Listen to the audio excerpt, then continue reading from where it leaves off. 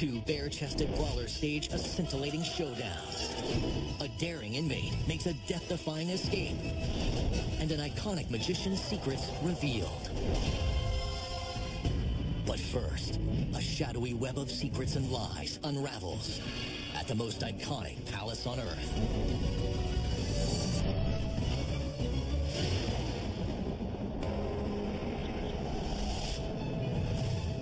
Situated 10 miles southwest of central Paris, is one of France's largest and most extravagant castles, the Chateau de Versailles. This monumental palace is bigger and grander than any other palace ever. This royal residence was opened in 1682, and its regal facade has become synonymous with refinement and elegance. There is gilding at the rooftops and sculptural elements between every one of the windows. The grounds of the estate are larger than the island of Manhattan and feature more than 225 acres of immaculately manicured gardens.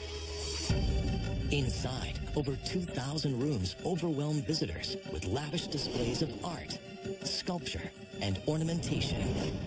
Its breathtaking showpiece is the Galerie des Glaces, a magnificent hall lined with over 350 mirrors. It's opulence on top of. This extravagant palace is renowned for its decadence. But its splendor belies a notorious past of greed, deception, and theft. This was an event so shocking that it changed France forever.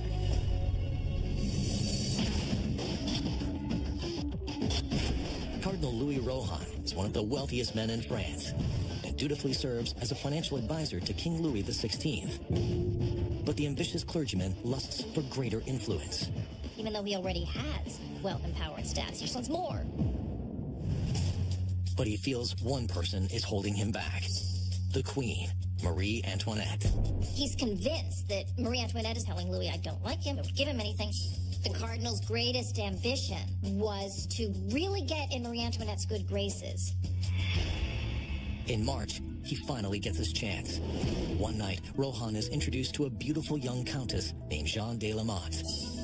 She tells him that Marie Antoinette is actually a really good friend of hers, and she sees her all the time at Versailles.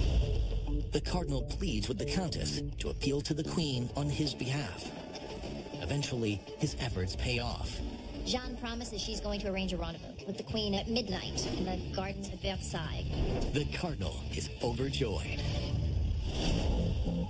On the night of the meeting, Rohan finds the veiled monarch waiting for him in the moonlight, just as Jeanne promised. Then she hands him a rose. The cardinal is thrilled by the warm reception. He throws himself at her feet and says, I'm going to cherish this rose forever. Not long after, the countess brings the cardinal a message, which she says is from Marie Antoinette. It seems that to prove his new loyalty, the queen has a very special request. She'd like Rohan to help her buy a necklace, and she knows just the one she wants. It is the most gaudy thing you can imagine. It is huge. 647 diamonds, 2,800 carats, give or take. The necklace is so big, the red leather case that contains it is the size of a serving platter. The opulent baubles come with a royal price tag. In today's math, it would be roughly about $25.5 million. The letter claims that if members of the public saw Marie Antoinette purchase the expensive piece, it would spark uproar. She's known for her extravagance, and she's already in trouble for being in debt all the time. So the message proposes that Rohan visit the jewelers on her behalf. All he needs to do is arrange for her to pay for the necklace in installments and sign as the guarantor. And Jeanne will be the intermediary and collect the necklace and bring it to Marie Antoinette. The power-hungry cardinal is more than happy to help.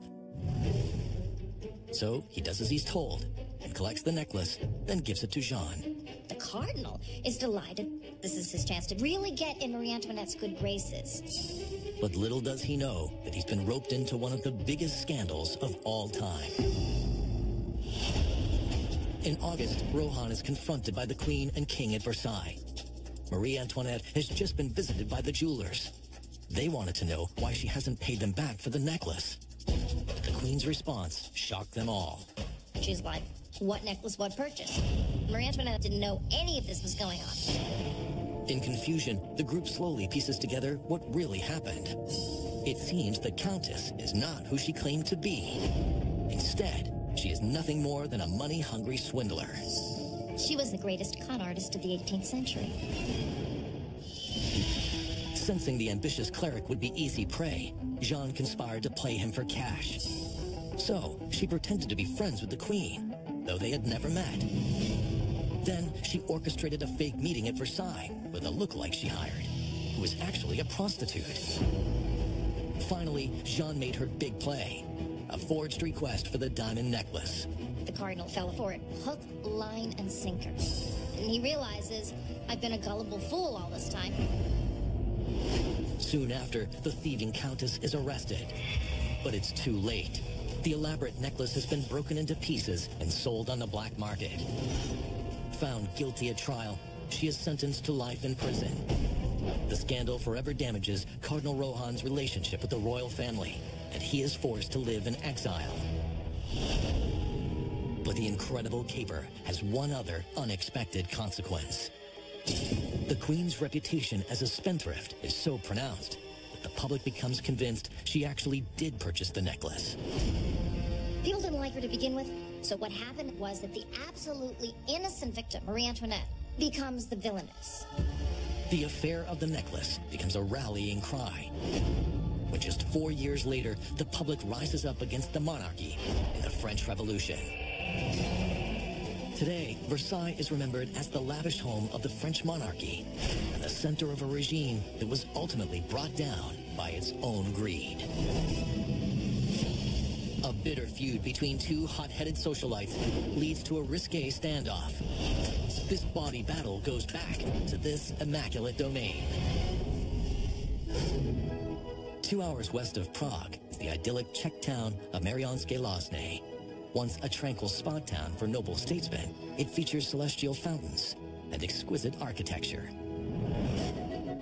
Just outside the splendid haven is a massive palatial retreat, Kinsvart Castle. Kinsvart is grand and sophisticated. It's a beautiful, beautiful castle.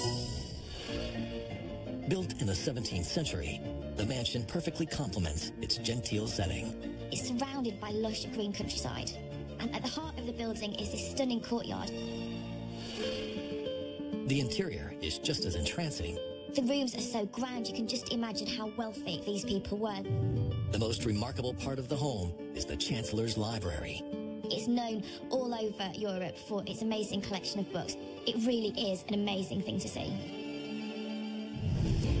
This graceful palace is the epitome of refinement, but its residents weren't always so angelic. This noble and stately home was linked to one of the most shocking jewels of all time. Princess Pauline Metternich is a strong-willed socialite who thrives on hosting events for the city's elite. Accustomed to luxury, her family owns numerous homes, including the stunning Kinsvart Castle. Princess Pauline Metternich was an infamous character. She was tenacious and determined, and she loved to be the center of attention. So when she learns a massive arts exhibition is coming to town, she sets her sights on running the show. The princess is confident it will cement her status as Queen of Vienna's social scene. She knew what she wanted, and she knew all the right people. So she became the honorary president of the exhibition. But another society lady also wants to make her mark.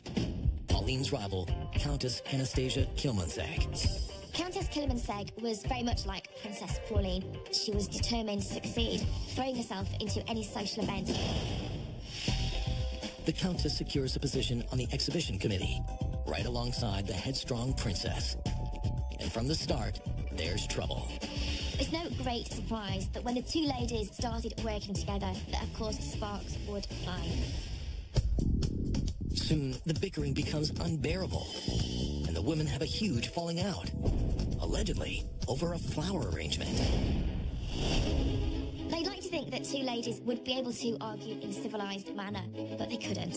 They did not like to be told what to do. So they take drastic measures. This argument was deemed so serious that there was really only one way to resolve it. A duel. On the morning of the showdown, the two debutantes choose swords as the weapon of choice. Abiding by French rules, once one of them is wounded, the matter is resolved. It goes without saying that a duel isn't exactly safe, so the ladies selected a medic to be on hand, and the medic herself was a lady. But before the floral nemesis engage, the doctor draws their attention to a potentially fatal hazard. She was concerned that if a bit of clothing became driven into the wound, it could become infected and therefore septic. So, as the story goes, to avoid mortal injury, the doctor makes a brazen suggestion. The adversaries should fight topless. This must have been one of the most sensational medical interventions ever made. It's 1891 in Vienna. When event preparations turn sour, Princess Pauline Metternich challenges fellow socialite Anastasia Kielmansegg to a duel. But due to the risk of clothing entering a wound and becoming infected, a doctor proposes an unconventional solution. The two women should fight topless. The high society women are stunned by the suggestion. It was unusual that they had even taken the step of having a duel, but to then carry this duel out whilst exposing themselves, it must have shocked both ladies to the core. But in the interest of safety, they agree and remove their blouses. These are two ladies who wanted to win this argument, so topless or not, they were still fighting to the blood. The duel commences, and the bare-chested contenders boldly swing their rapiers, knowing that any strike is sure to pierce their bare skin. A fiery war raged between the two ladies for supremacy. Until the princess takes a serious cut on the nose and swiftly counters with a blow to the countess's arm. Finally, the doctor stepped in and begged the ladies to stop the madness. The wounded aristocrats slowly regain their composure, and Pauline finally makes peace with Anastasia. Once the duel was over, there actually was a happy ending. In the weeks following the skirmish, the two women worked side by side and peacefully finished planning the exhibition. Despite all the drama, it was a roaring success. Thankfully, there was no more fighting to the blood. But while most duels go unreported, this contest becomes international news. It's really no wonder that this made headlines around the world. Two bare-chested, high society ladies armed with rapiers. Who couldn't be fascinated by that? Today, Kinsvart Castle stands as a reminder of the illustrious Metternich family and the fiery female duel between two saucy socialites. An imprisoned general makes a death-defying bid for freedom at this massive citadel. Königstein, Germany sits in a region called Saxon Switzerland due to its picturesque forests and mountains that resemble the Swiss countryside. Within this bucolic riverside town is a hulking man-made structure, Königstein Fortress. Königstein Fortress is extremely imposing. It's described by some as an eagle's nest due to its construction high above the hilltops. Originally the site of a 13th century palace, it was later converted into a defensive stronghold. Surrounding the complex is a 2.2 kilometer wall, which just shows how secure this location is. But these sandstone walls did more than keep invaders out. They also kept prisoners in. But one inmate would stop at nothing to flee this frightening compound. This was the site of one of the most daring and courageous escape attempts ever known.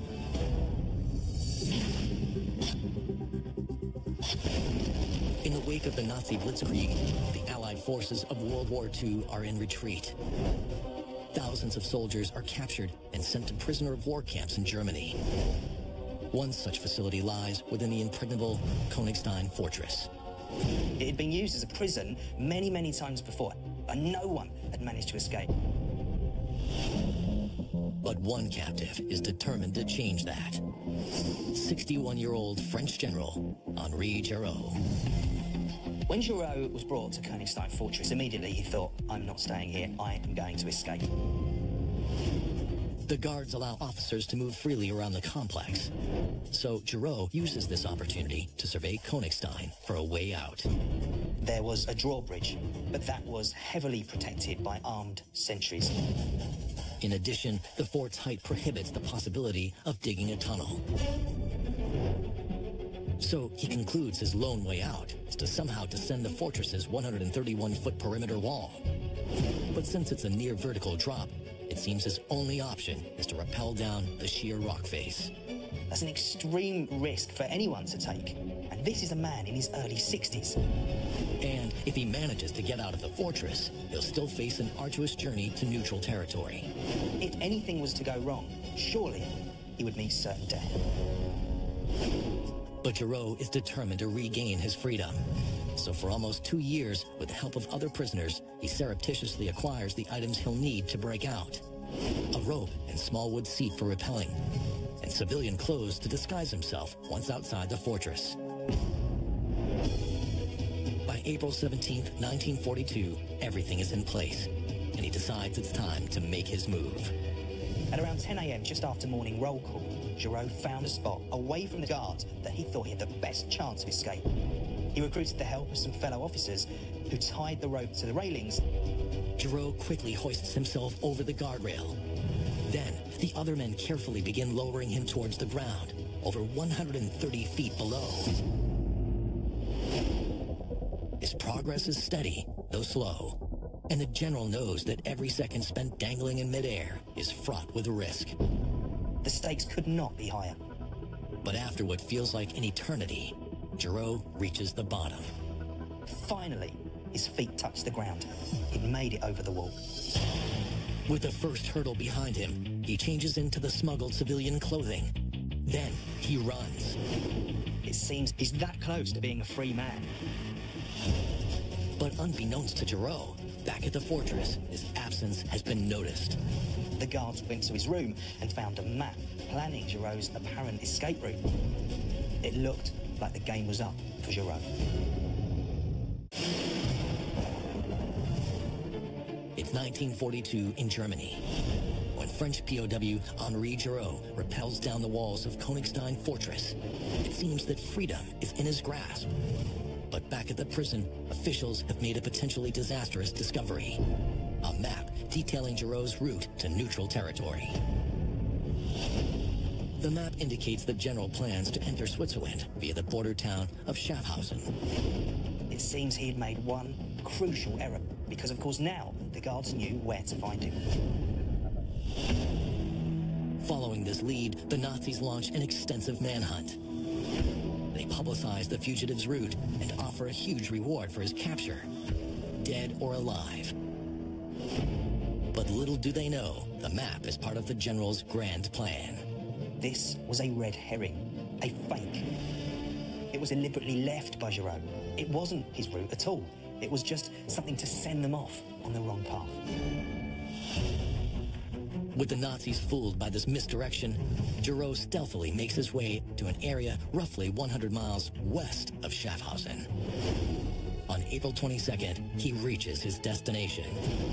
He finally managed to get into neutral Switzerland, where he was safe at last.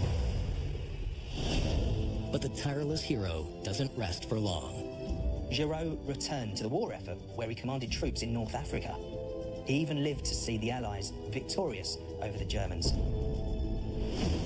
Today, Konigstein Fortress remains a silent witness to one man's bravery in the face of daunting odds.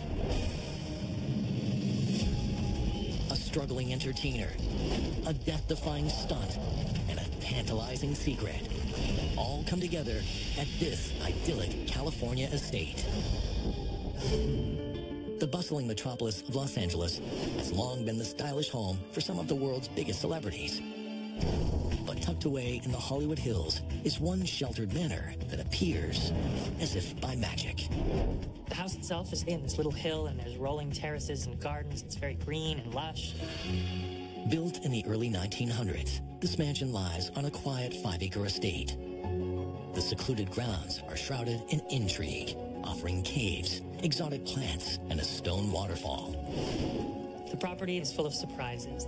There's all sorts of little pathways and hidden gems. Inside, the manor's enchanting rooms feature antique brass chandeliers and hand-carved wood furnishings. The structure has a Mediterranean feel and a very 1920s vibe. These secretive grounds are a fitting residence for the world's most mysterious entertainer. A man who captivated crowds with a very dangerous stunt. Not only was his career at stake, but his life was at stake.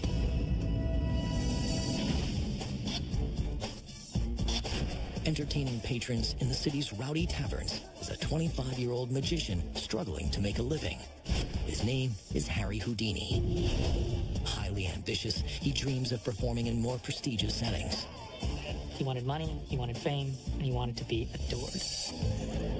One day, Houdini's unwavering determination finally pays off. After dazzling a drunken crowd with his signature handcuff escape trick, he catches the eye of a vaudeville impresario. In Houdini's day, performing at the theater level for vaudeville, that was the top.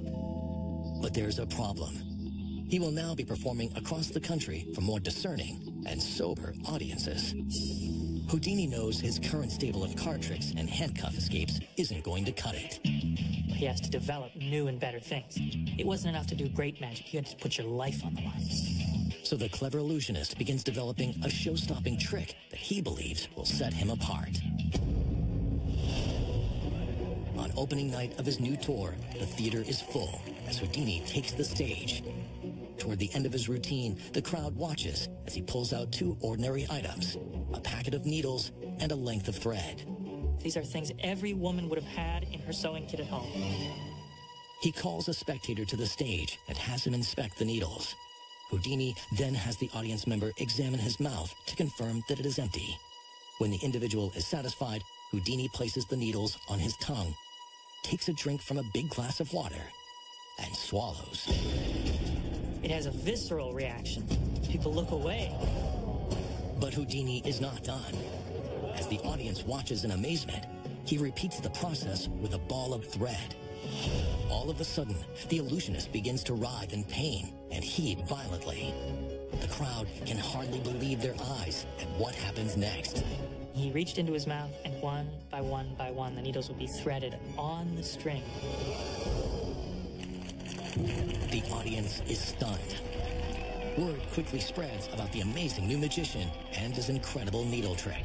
And there wasn't another act anything like this, and people started to remember the great Houdini. Before long, his name becomes synonymous with unthinkable escapes, vanishing acts, and death-defying stunts.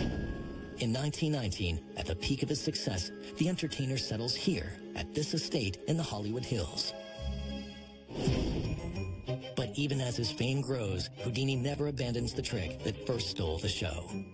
Throughout his career, Houdini would always rely on the needle trick. Audiences desperately want to know how he pulls off the stunt without hurting himself.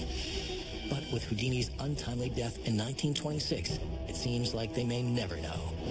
That is, until a mysterious associate comes forward to blow the lid off the magician's most closely guarded secrets.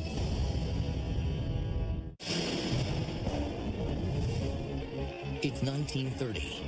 Three years after the death of Harry Houdini, it seems the secrets behind his fiercely protected illusions are about to be exposed. A man named R.D. Adams, who claimed to be a confidant of Houdini, a stagehand to Houdini, published a tell-all account of some of his most popular illusions, including the needles trick. The magician's secret, it seems, was having a second set of needles. This decoy was pre-threaded and concealed at the start of the trick.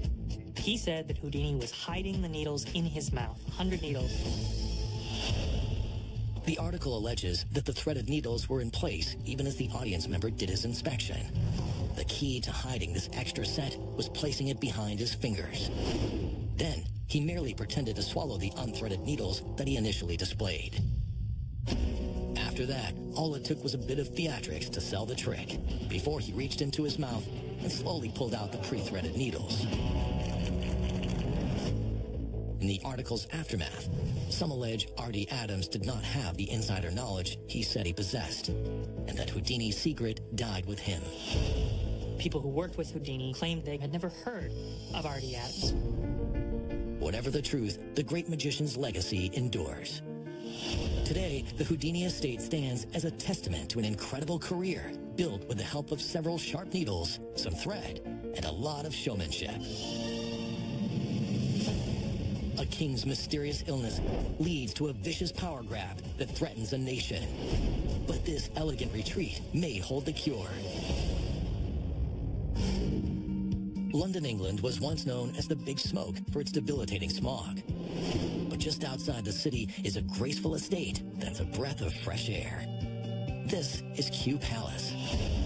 There's a quiet grandeur to the palace, a sort of isolated splendour. It's somehow tucked away, but at the same time very imposing. Built in 1631, this regal refuge is situated within the verdant bounds of the Royal Botanic Gardens. It's a place of relative solitude and seclusion. The red brick exterior exudes an understated elegance, while inside, the cozy mansion is fit for royalty. The Queen's drawing room is incredibly striking. It has pink walls and then scarlet furniture. But once, these tranquil surroundings did little to stifle the ravings of a king in the throes of lunacy. This is the story of how a mad monarch's illness threatened to plunge Britain into crisis.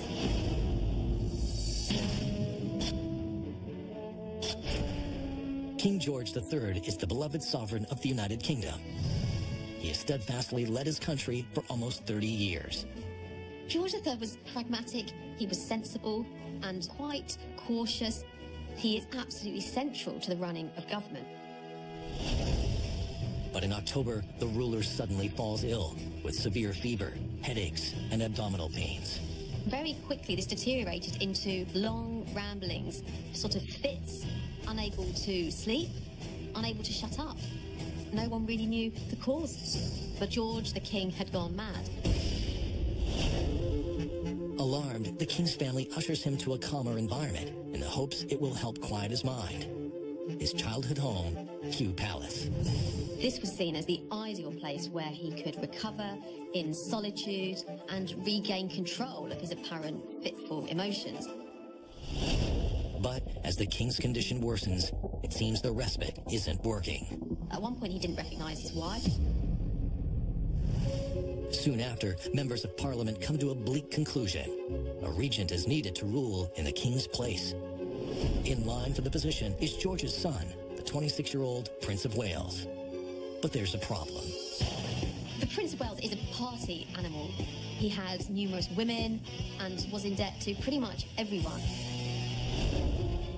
To make matters worse, the Playboy Prince has long coveted his father's throne. The Prince of Wales regarded this as a huge opportunity. He wasn't interested in politics particularly, but he was interested in power, in wealth, in the status, all that came with it. But the public is horrified by the thought of such a leader.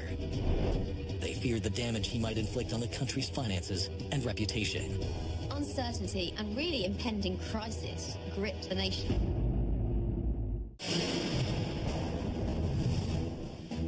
It's 1788 in London. After King George III mysteriously goes mad, his son, the reckless Prince of Wales, strives to take the throne. But if he succeeds, many fear he will ruin the nation. So the king's supporters vow to stop the brash heir, no matter what. In a bold move, they call upon an aging doctor named Francis Willis, who is said to have practiced medicine without a license. He had been in charge of a lunatic asylum, and he had quite erratic and odd methods. As he begins treating the king, his techniques turn heads. He really saw that his role was to try and control the king. So he had a mix of kind of carrot and stick approaches. He would let the king play backgammon and read Shakespeare. But at other times, he would basically tie the king in bed, put him in a straitjacket, the most extreme method. For more than two months, the doctor attempts to drive the madness from the king's mind, to no avail. It seems like there's nothing the sovereign's supporters can do to stop the prince's takeover.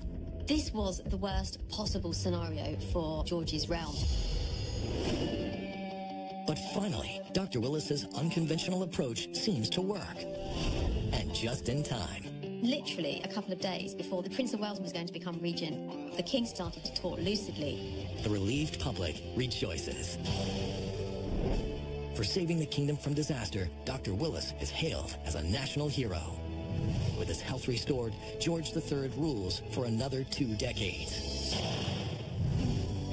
Today, it's believed King George suffered from a rare blood disease or psychiatric condition such as bipolar disorder. Whether it was actually Willis's methods that caused him to improve remains a matter of debate. But Kew Palace still stands as a testament to a bout of insanity that drove a country mad. Life, death, celebrity scientist. The search for answers begins at this tropical estate. Fort Myers, Florida earned the nickname the City of Palms for its flourishing urban greenery. It's a fitting location for a tranquil riverside retreat called Seminole Lodge. Seminole Lodge is a beautiful, serene structure. Really gives you a sense of a getaway. Set on 20 acres, this pristine manor is engulfed by exotic flora. It's got plants and trees here from just about every continent. Thousands of different varieties and all. Underneath the red cedar roof, the rooms contain unique touches to bring nature inside. There are French doors that allow river breezes to flow right through the home. But this airy mansion wasn't merely a winter sanctuary. It also served as a workspace for one of America's most prolific inventors, Thomas Edison.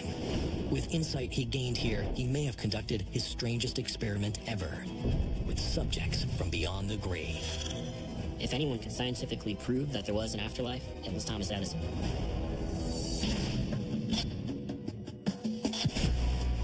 America is in the grips of an extraordinary phenomenon spiritualism. This mystical practice preaches a belief in the afterlife and communication with the dead through a medium. In the wake of World War I, it's a tantalizing premise. Many Americans had lost loved ones, and they were clamoring for a way to recover some part of that connection. But so far, there's no proof that the afterlife exists, let alone that spirits can speak to the living. And the public is desperate for clues. They really wanted answers to some of life's deepest questions. So the nation is thrilled when one of the country's preeminent scientific minds enters the debate Thomas Edison. Edison is generally regarded as an American icon, and he was a very curious individual. The burning questions raised by spiritualism have caught his attention, and he's pondered life and death at length at his Fort Myers estate, Seminole Lodge. In October, he speaks to a reporter from American Magazine and makes a bold statement. He said that he believed it would be possible to construct a device that would communicate with the spirits of those who have passed on. If he's right, it could prove once and for all that the afterlife is real. Then he drops another bombshell. He's already building just such a machine. When the article is published, it causes a firestorm. The reaction from the public is tremendous. The magazine immediately receives somewhere around 600 letters. Readers' responses range from exuberant support to grave concern that the apparatus might channel evil forces. But they're confident that if anyone could build such a device, surely it's the brilliant Edison. The nation anxiously waits the mysterious machine. The prolific creator, however, never delivers. In 1931, Edison passes away, and no such device was ever found. The public was immensely disappointed. Rumors swirled that the machine was in fact lost or destroyed following his death. Or perhaps Edison, a known prankster with the press, never truly cared about the topic to begin with. But in 1933, a new twist to the story emerges. An article comes out in Modern Mechanix magazine that claims that Edison's device to communicate with spirits existed. Could this finally provide the answers to the eternal question, is there life after death? 1933. Two years after Thomas Edison's death, a new article in Modern Mechanix magazine makes a shocking claim that the prolific inventor did indeed build a device to communicate with the dead.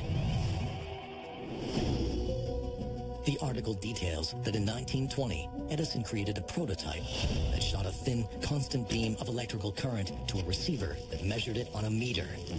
Any interruption in the meter's level would be evidence of a spirit's presence. What's more, he even put the apparatus to the test at a seance. The article states that on a black, howling, wintry night, Thomas Edison brought together a group of spiritualists and scientists to use his device to communicate with spirits. For hours, the mediums attempted to summon the dead, while the scientists monitored the delicate instrument. But the meter never moved. It was steady as a rock.